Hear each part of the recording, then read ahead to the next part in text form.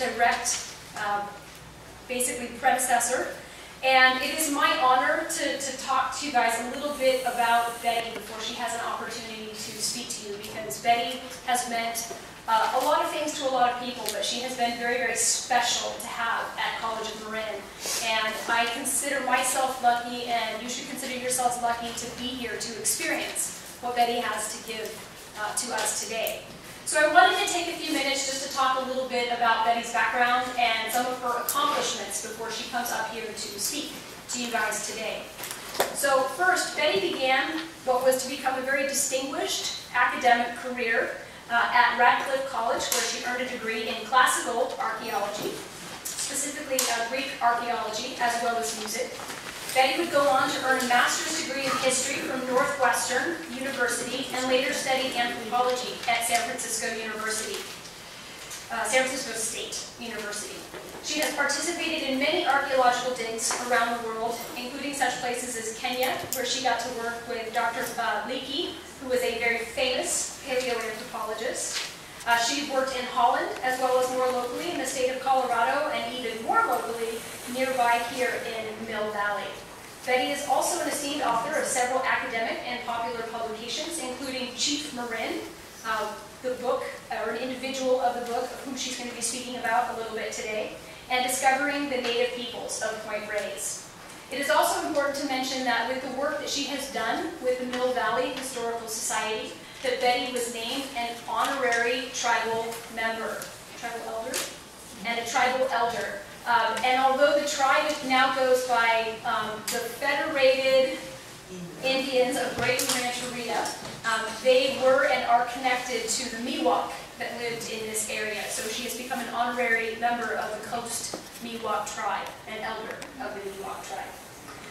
However, to me and to many others here at COM, it's Betty's academic contributions to the college that are the most special.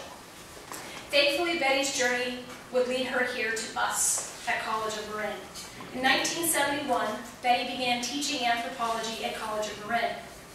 Here at College of Marin, Betty helped to build a thriving anthropology department and would inspire numerous young minds.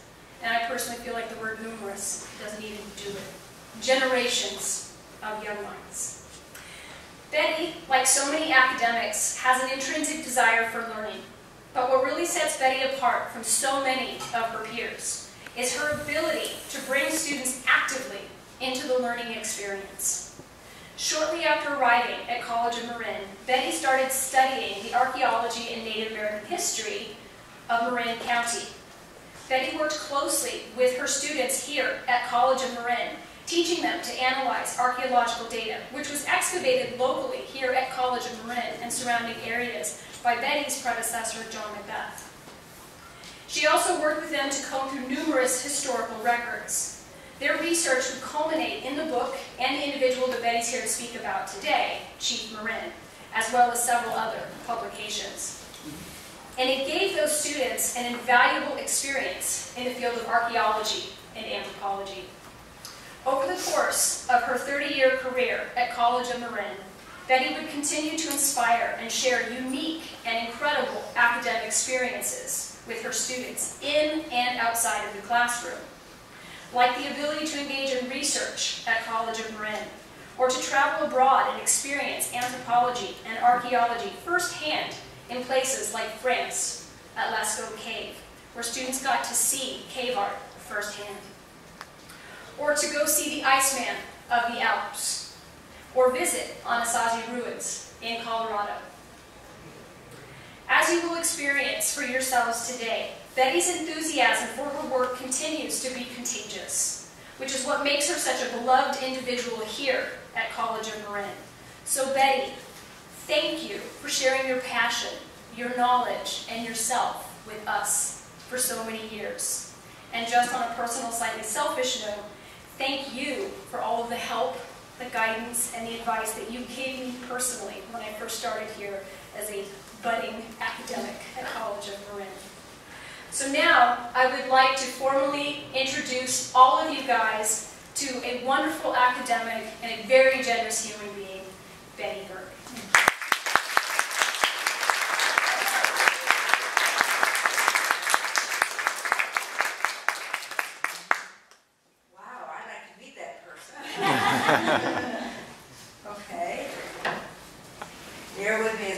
I know how to use this microphone. Thank you. Uh, This is my home. I taught here for so many years, 36 years actually. And then I started teaching in the non-credit program. And I feel loved here and welcomed here, and I hope you feel the same way. The joy of teaching here was always the students. The students were incredible, and I'm sure you were also incredible. So uh, I'm going to share with you today uh, the story of who had the power at the San Rafael Mission. Now, there were three forces. The sword, that would be the military, the cross, the church, and the arrow, the Indian. And I use the word Indian because I was told by Indians here that that's the word that they prefer, not Native American or indigenous people. Hmm, So not being rude. There were a lot of conflicts between the sword, cross, and arrow. They didn't get along together. Uh, And I'm going to explain some of that to you. But I want to start, start first with perception. Because we don't have the native point of view. They didn't do any writing, they didn't know how to write. Uh, And so we don't have anything until the 1930s when some natives were interviewed. So I'm looking at the records of the priests, and look at, looking at their diaries and the mission notes that they made, uh, which I will explain. And so the perceptions are, what I'm going to share with you, you can argue with me at any point, uh, and please please feel free to do so. But perceptions is something that I, I know personally, and I want to talk about my book, Chief Marin. Now, when that book first came out, I would see it on the table and I'd be nearby to talk about it. And this is what happened. Someone turned to me and said, oh, I always wonder what, if I can get cheap things in Marin County. And that's what they read. And somebody else, I heard this, and it turned to me and said, I'm not reading another book.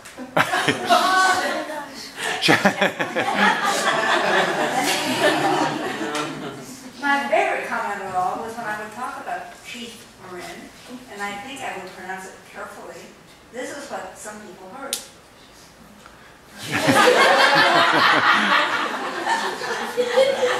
So I'm familiar with perceptions and in, in perfect interpretation, and I'm going to work on that right now. Okay, so begin with oops, the power of the sword. Okay, the military had a sword. They had horses, as you can see. Native people were not allowed to ride horses. Uh, And so you can see that prominent spot of the horses, and you can also see in the middle there, a military man watching the Indians gambling. So you can see there's people on horses up high, and then down below are the Indians.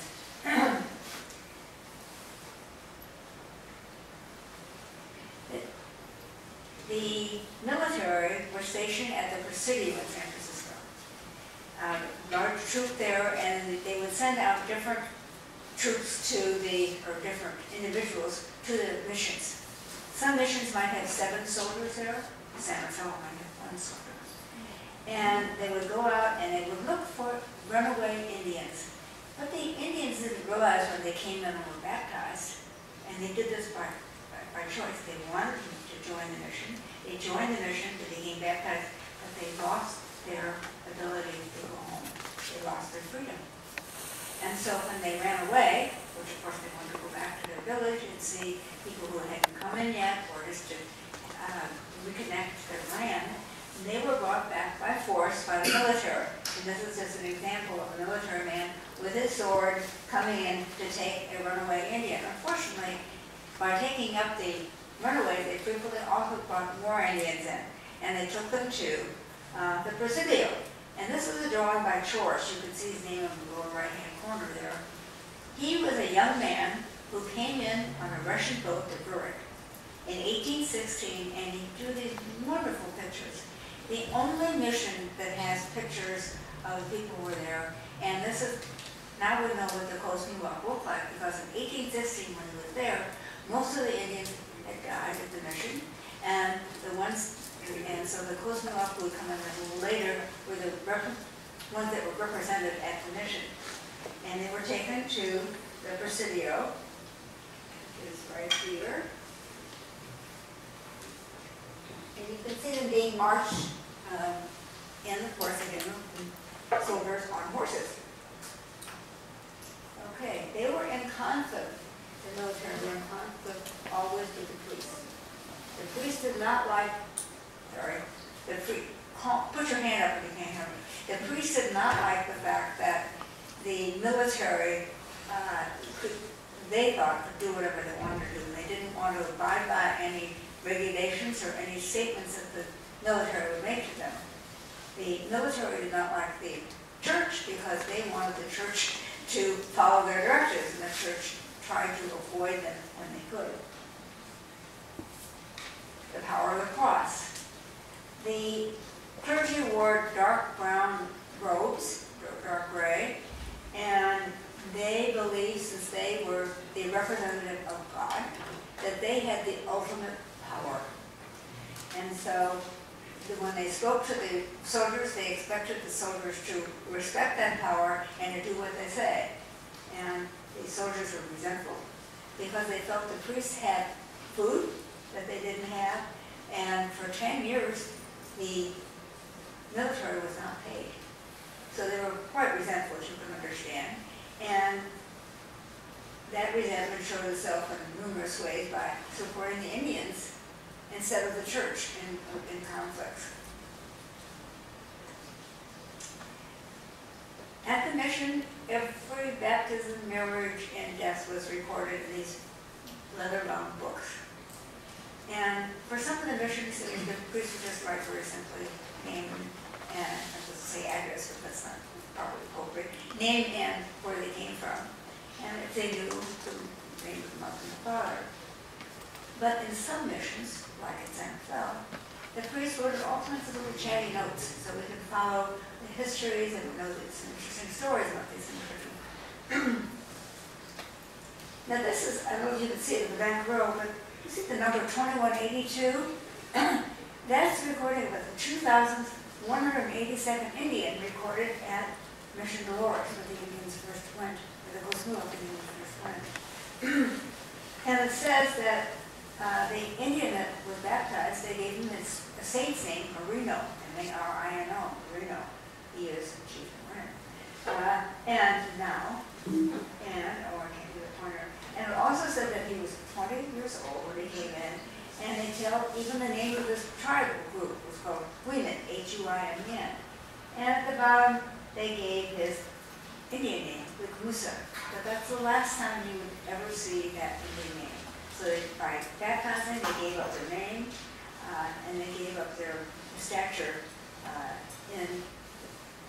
in the, in the mission community in one sense, by the fact that they were supposed to obey the rules of the mission. But in another sense, the Indians did not give up uh, their belief system, they retained it, which I'll discuss in just a second. Okay, power of the arrow. The priests and military were scared of Indians, and that was one of the powers that the Indians had. Because at five missions, Indians had attacked the missions. At two missions, they had poisoned the priest. And at one mission, they had actually murdered him. So this is a legitimate fear, and they want to make sure that the Indians were kept in control. Uh, these are of course, wild Indians because they're not wearing clothing, and at the mission, they all had to wear